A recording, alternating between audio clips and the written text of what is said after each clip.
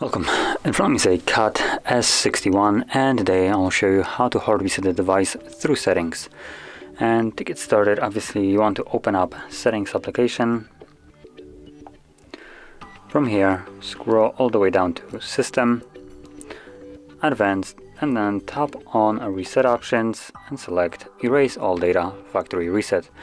Now once you click on it, it will give you a message that performing this will remove things like your Google account, system app data and settings, downloaded apps, music, photos and other user data.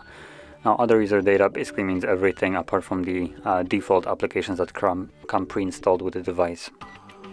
So if there's anything that you'd like to keep, uh, back it up beforehand, otherwise you lose it permanently. Now assuming you have already done this or you simply don't want to, then click on reset phone if you have some kind of protection on your device, you will need to confirm it. As you can see, I do have a pattern set.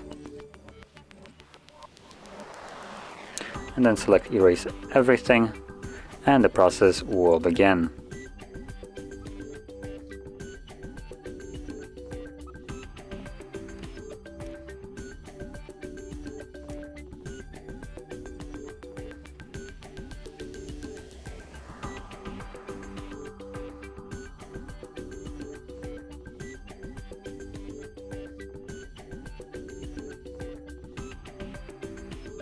And as you can see now the process is finished and you can set up your device as however you like.